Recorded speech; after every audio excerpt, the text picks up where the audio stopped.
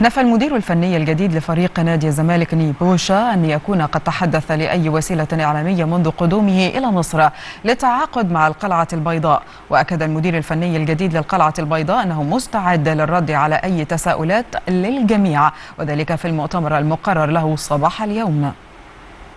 السلام عليكم.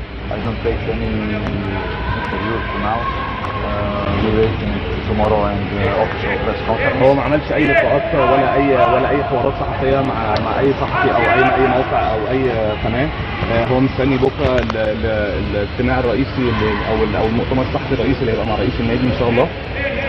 Tomorrow we will be open and uh, speaking about uh, any points and uh, speaking in front uh, all our fans.